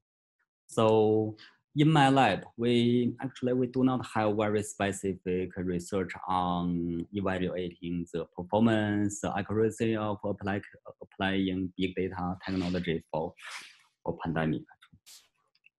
So I think there are already a lot of discussion on the weakness. I think everything has two faces. So uh, currently, from right now, when we observe the situation in China for the pandemic COVID-19 issue, I think they really help a lot, like the big data, the Yuma, the Jiankangma, I think. Currently, we do not have the the internal cases. I think um, um, I think it works. Uh, but however, for the privacy issue is the other side. We should we should consider it uh, carefully. Uh, but how to do? We do not have research. So for the question, we do not have very concrete research. I am not able to answer correctly and accurately. Thank you so much. Right, great. We have another question coming up. So um, Yinglong's talk has many interesting details, but raises one very fundamental question for architects. There are many nice lectures uh, across town from Columbia at the NY Academy of Medicine. Yinglong's talk seems equally appropriate for both locations. How does an architect or urban designer or planner actually integrate Yinglong's list of tech into the built environment? Yeah, uh, I appreciate Ben's question very much. I think that is very interesting. So since I have been working on combining technologies with urban planning and design for around 15 years, I think the past 15 years can be divided into two stages.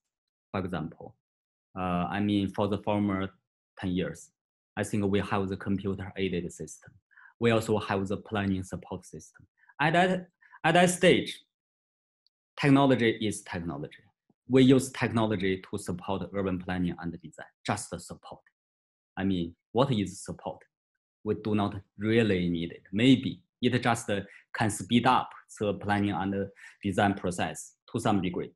However, however, right now, technology has been blended into our daily life and our city space. For example, Internet of Things, I mean, ubiquitous sensors can be embedded into city space.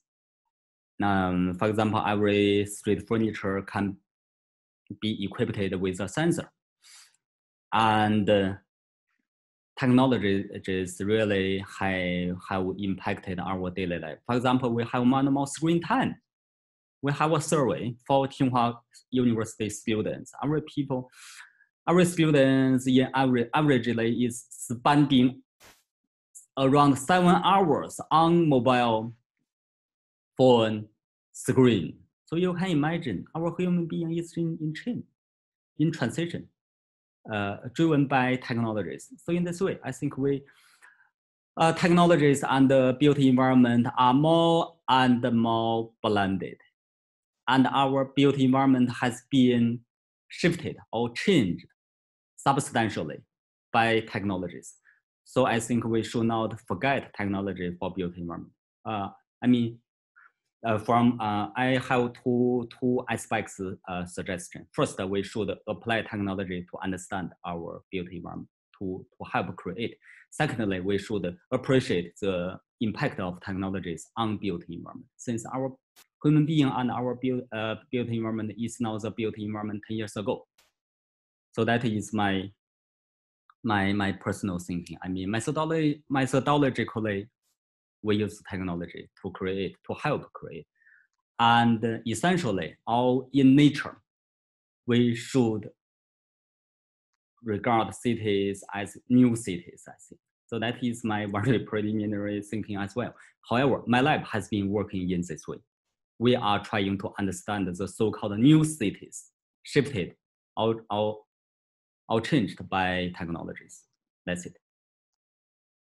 Right, thank you. So we have very little time left for the Q&A session for Professor Longying, though I think this question will be really meaningful for our discussion panel. So question from Shi is, except for the convenience technology has given us, many elder people or people without smartphones are facing extreme inconvenience during the pandemic. Once the health code are set as the only certificate of public space, how do we make the smart technology to be actually inclusive for everyone, but not exclusive? And I'd like to invite also Professor Qingming Zhan and Mr. Qian Rui to answer this question as well. And let's and let's um, welcome our moderator, Wei-Ping Wu, to um, facilitate our discussion.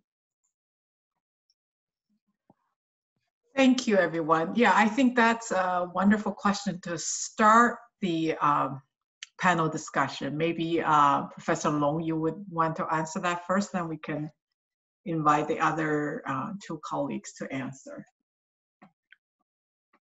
Yes, thank you, Professor Wu. I think uh, technologies are really not uh, inclusive to everyone. And in my report, together with Tencent, I mean with Space, we have proposed some questions or concerns on technologies with city space. I think, uh, like for example, we have digital divide, and technologies may be also leading our cities to more segregated and to and to uh, not uh, not this uh, uh, uh, so-called um, uh, to to to uh, how to say um, to lead the cities more segregated and polarization and even uh, segregated in terms of space and in terms of the, for example, income, education as well. Uh, so I, in, the main purpose for that report is to propose concerns about technologies and our built, uh, built environment to, to suggest every people, every planner and designer consider that. Uh, currently, we do not have very good answer for that directly. Yeah, that's it. I think. Thank you. Um, Professor Zhan or um, uh, Wilson?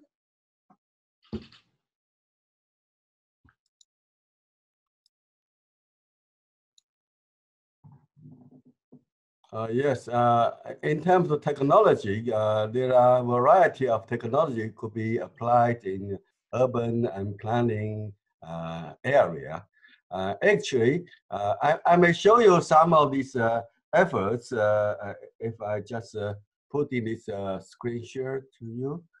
okay, let me see. So before the outbreak of this uh, academic COVID-19, we have deployed some 28 uh, monitoring device in campus of Wuhan University. And you can see if you click the location, you will see the, the, the, the monitoring, the temperature, the uh, hum, uh, humidities and uh, lighting and noisy things, and the temp, pressure, PM 2.5, PM 2, uh, speed, wind speed, and wind directions, and CO2, and, and so on, right? Those provide uh, enrich uh, information uh, about our uh, natural environment and the human environment. The monitoring even the number of uh, pedestrians pass through this location and number of vehicles that pass through this location mm -hmm. in, in terms of every minute right? You can you can have this uh, very high frequency of signals. Then you are able to understand the circumstance and what happening in certain events. So this provides a very real situation. So for planners and design to consider, uh, those are the factors we have to uh, concentrate and look at more carefully, uh, at least. But on this, uh, all this uh, equipment are deployed just uh, less than one year. So we still uh, try to consider what could be uh, come up most out of this uh, uh detailed monitoring uh, data. Thank you. Mm -hmm. Just an example. Thank you. Thank you. Yes, uh, Wilson or Mr. Chen, would you like to add to that? Yeah, I would like just add one point. I, I, I, fully agree that technology can help our daily life can help our professions. And uh, I observed that uh, uh, the way we're using technologies right now in our profession, planning and designs, is quite. Uh, it's not the period that we're using a kind of software to uh, uh, to speed up our working process, but it's reshape, restructure our, uh, our working procedures and the methods of we work. That's how we use technologies in our profession, I think. But uh, uh, uh, as for the question, I think for each kind of new technology, we need to have a transition period. It, during this period, we need to offer as much as possible for the alternatives to all groups of people that can use that, uh, will agree use that or disagree with that. Uh, within this period, it, uh, I call that democracy of the technology it's not it's not like the uh, uh, uh, uh, in some situation like like like the green code. In China, the government says green code or the, the healthy code is only way to to certificate that you are healthy. This this, this is actually kind of ridiculous that we can see a lot of news on WeChat or uh, on the media. Elder people cannot use smartphone at all. So this this actual actually shows uh, within this kind of challenge, massive challenge, we don't have much, uh, uh, uh, we don't have enough preparations to, to offer the alternatives to people. If we can have the technologies, meanwhile, we have alternatives for people, I don't think uh, the question will be a question. Hmm. Thank you. Uh, actually, this is this question of inclusion and exclusion also leads to sort of my next related question to all of you. Nearly all of your presentations touch upon a very critical issue of a new importance that is the private versus the public, right? And uh, how our conception is changing today, right? In the past, how individual, not in the long past, just before the lockdown, whether we wear masks, where whether we keep social distance, how much we keep the personal bubble was all individual choice. But that individual choice now has consequences for a large set of people, right? And so Professor Zhan's work in terms of looking accessibility, you know, the lockdown of Wuhan really was for the benefit for the rest of the country you know the, the, the Wuhan residents bear you know bore the, the, large um, uh, responsibility for containing that right? So now we know at different scales individual actions have implications for um, larger um, groups and even larger you know city as a whole. So um, how do you see that uh, shift uh, maybe affecting how people uh, behave in urban space and how planners and designers are also reacting to different types of behaviors of individuals, right? I know I was just really shocked to see during the October 1st uh, vacation week, Chinese are traveling again. They're all crowded again. I, I just like, I, I, said, how could that happen, right? I mean, US, we're still like completely uh, uh, uh, forbidden, at least in New York City, to do that. So is you know, is this new shift in public versus private really reshaping people's behavior in urban space, or is it just very temporary as you observe in uh, Chinese cities?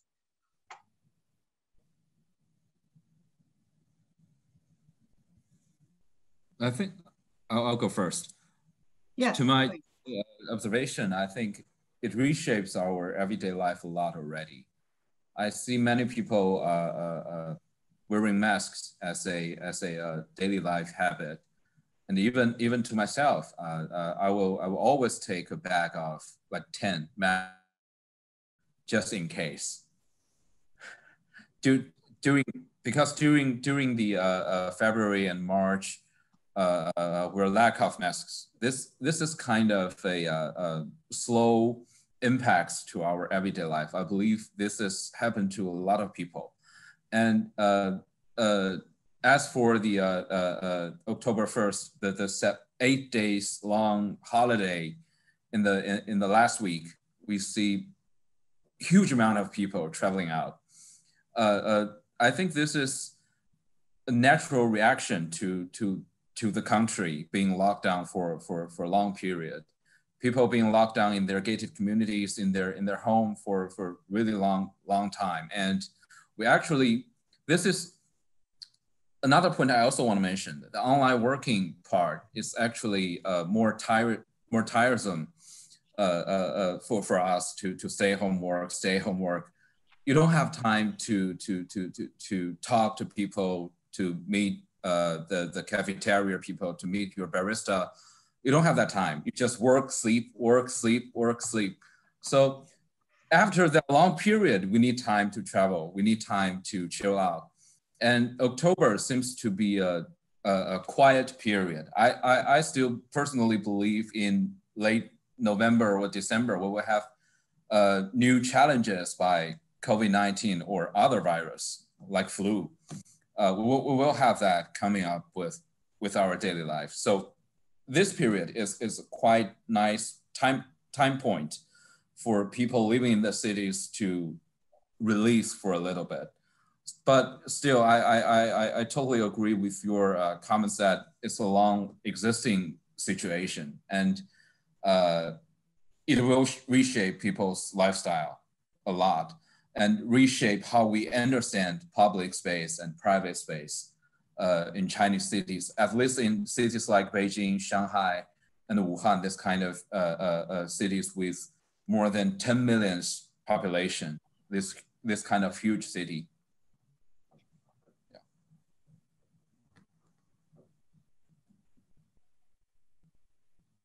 Uh, I may say a few words. Uh, uh, actually, uh, uh last week's Wuhan, actually, uh, universities in Wuhan have no vacation. All students remain in the campus. We mm-hmm. given lectures during this week as well, because it's just kind of a precaution measures. Uh, because uh, uh, um, you know cases in China, most of students stay in dormitory. Uh, some three or eight students stay in one big room. So if one effect will have uh, quickly uh, expanded to uh, all the campus. So uh, still university have keep high alerts on this, uh, carefully monitoring the situation. So we have a first uh, October national holiday and we have on vacation and second day we have to go class.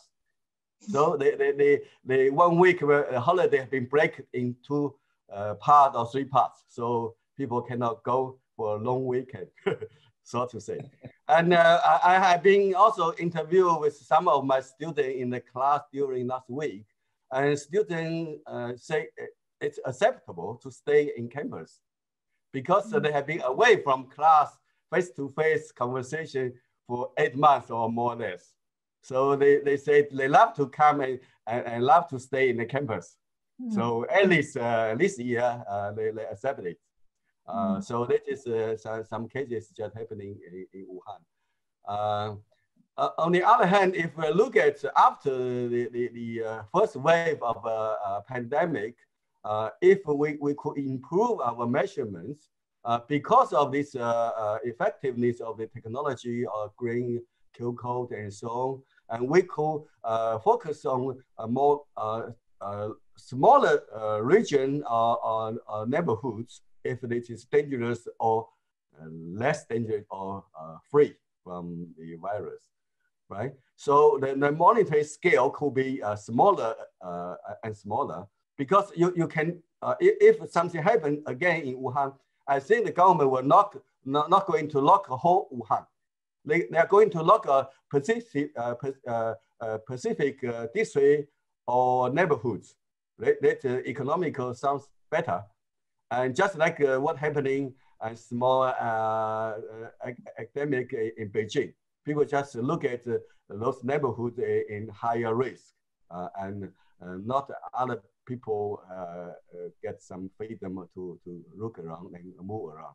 And it's uh, uh, better. It's, it's a kind of compensation between the complete lockdown and complete free to travel, mm. right? So we have to make a balance between freedom and the, the life itself. yeah. So that is what I want to say for the time being. Thank you. Yeah.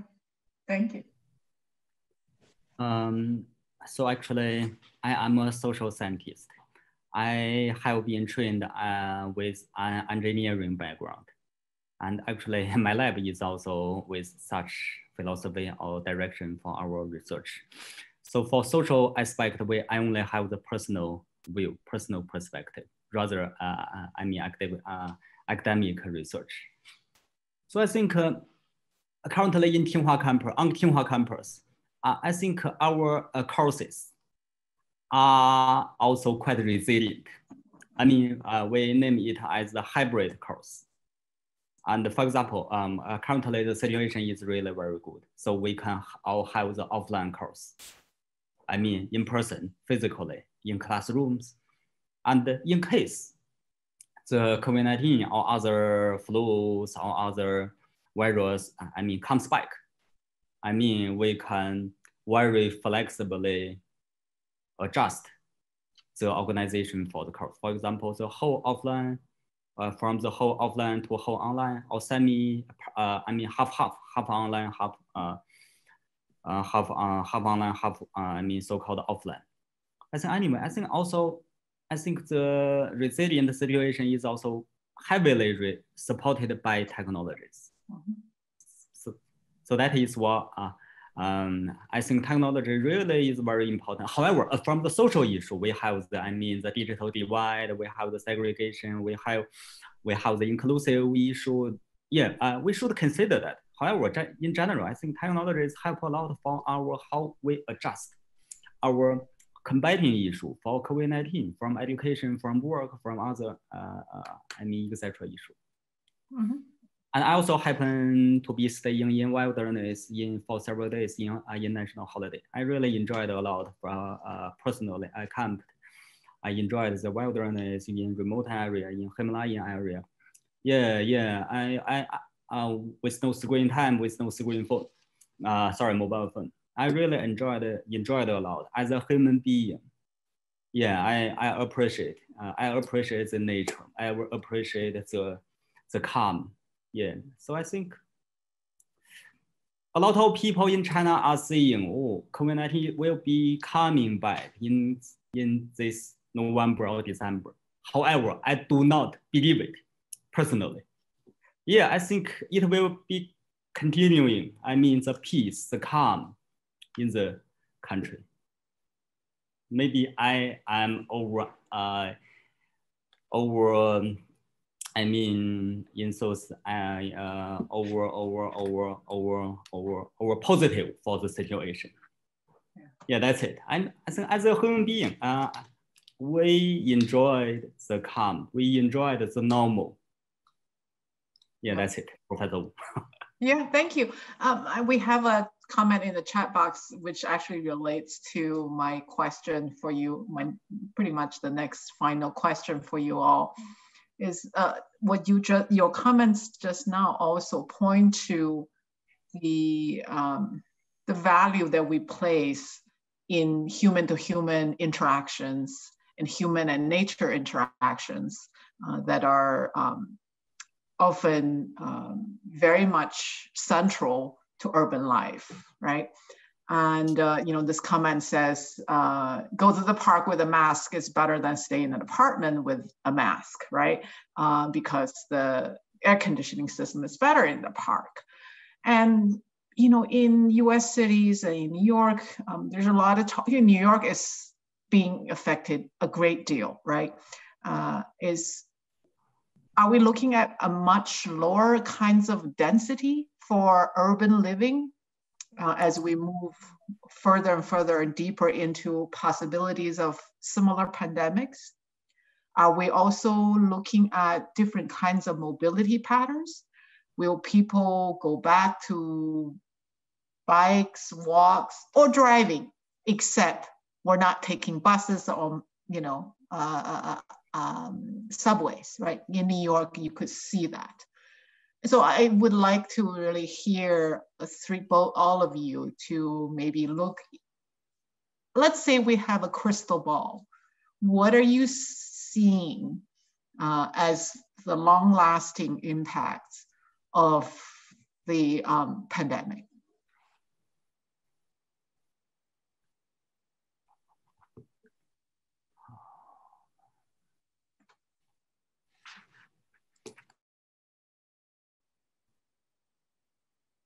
So may I? Yes, please. So actually, uh, um, I think still my personal thinking. I mean, the so-called long-lasting impact on issue for pandemic. I think, uh, I think just a message or local story uh, for the online education. So before, I think uh, the, the after class education for youngsters like uh, primary students, middle school students are very significant and a lot of in Beijing, in Haidian especially actually. That is the center of the empire. yeah, uh, actually in that way. Actually, uh, actually before almost uh, all the offline education, I mean trainings are offline and currently, uh, driven by the pandemic, more and more parents are open to online education. I mean, offline education. Sorry, I mean the online off-class education for youngsters. And I was told the income, the earnings for the online teachers, I mean, the salary is very high, around 1 million China yuan, at least one 1 million China yuan per year. I mean, currently, good skill, uh, I mean, good teachers are going online rather offline. Maybe in the future, in the close future, in the remote future, they will not ever come back to offline. So, so I think the pandemic really teach a lot. Uh, I mean, teach us a lot. Uh, teach us a lot. Maybe before we people are not comfort, comfortable with online something like online meeting, online education. But right now, they like them a lot.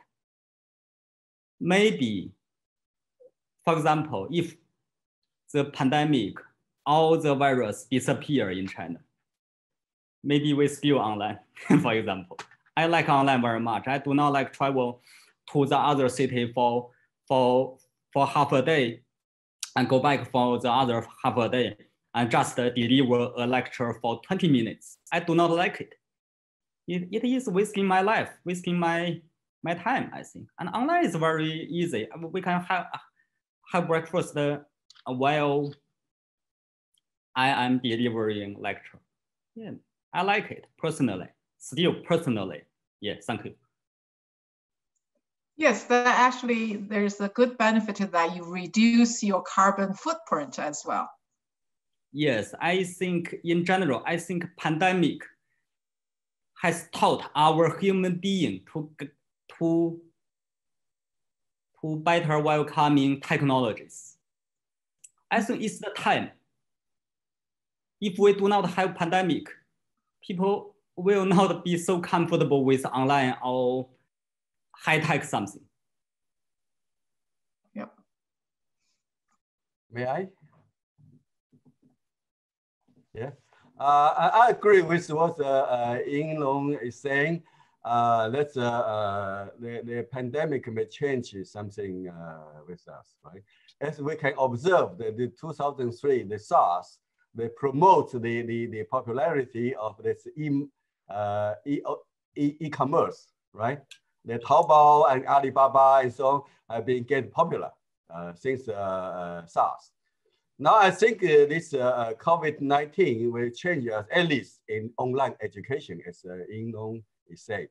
actually, what happened in Wuhan after this uh, pandemic, uh, we are free to travel to school and, and go to other places, but still we have uh, some one third of meetings are online, right? It's easier for us to save time Uh, and we, even managed to have attend two meetings in, in whole morning. Otherwise, it's not possible to reach one and you forget about others, right? So, uh, uh, and, and also, uh, it's also easier for this international uh, communication, like uh, what's happening today. So we are in a different time zone, but we still uh, have no limits in terms of communication, right? Uh, this year, I even had the opportunity to, to attend the PhD defense of my son. He, ha he had the PhD title in UCLA in Los Angeles. And because of time difference, we, we wake up in early morning in five o'clock and uh, following the, the defense process. And yeah, it's a very good experience for us as well. Otherwise, without this online uh, po possibility, we, will miss his uh, defense event, just, just example. And uh, I think uh, just uh, Ying Long also say, uh, travel between different cities and just give a short lecture, a guest lecture and so on it's also uh, not time efficient and also low carbon uh, effective. So uh, I, I, can see in the, in the near future, longer run, uh, you can see the, the uh, uh, Uh, that's online meetings and discussing e, uh, online business and, and so on.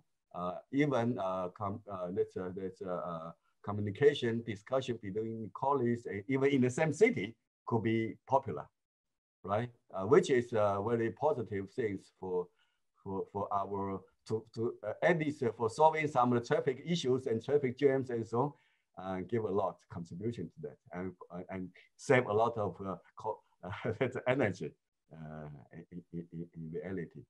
And we have some more time to go to outskirts for excursion instead of getting crowd to have meetings together. Thank you.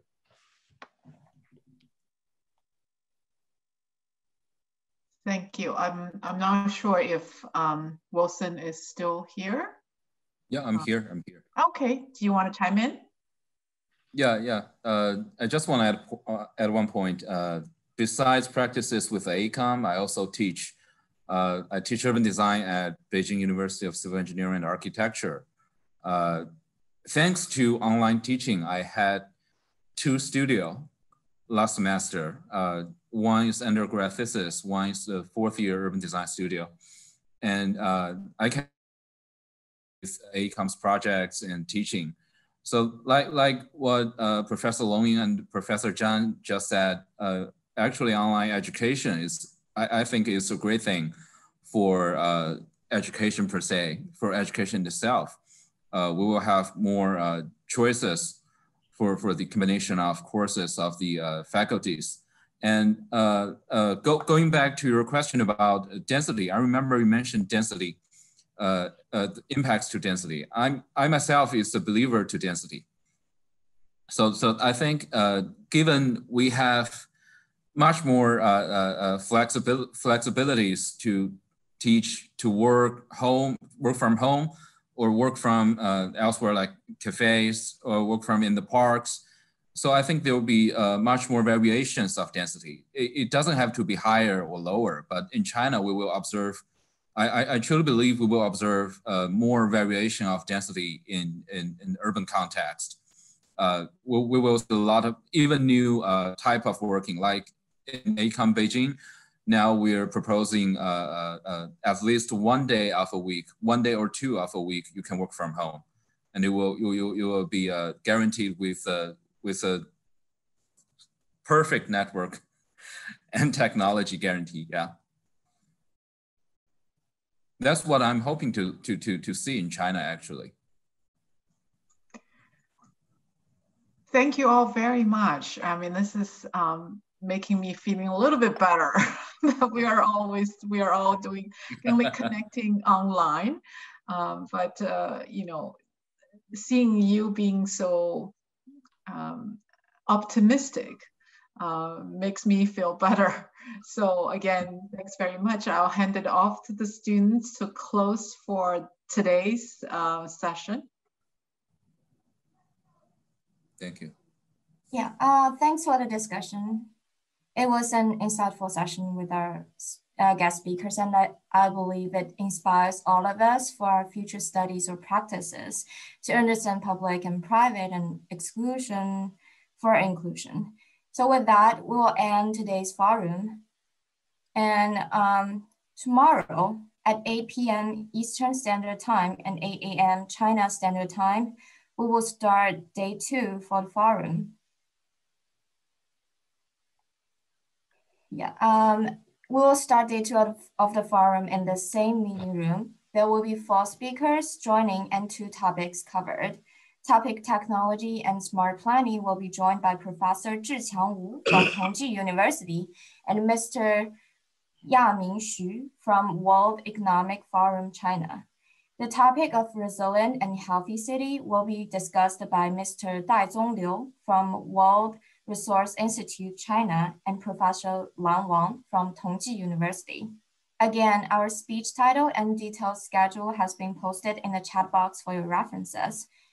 Thanks again for attending and we look forward to seeing you all here tomorrow. You may leave now. Thank you. Bye. Thanks.